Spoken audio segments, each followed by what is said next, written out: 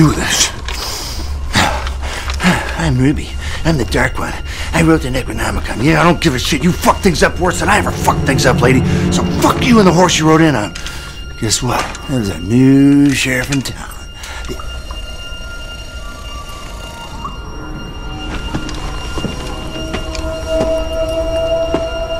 Oh, creepy kid.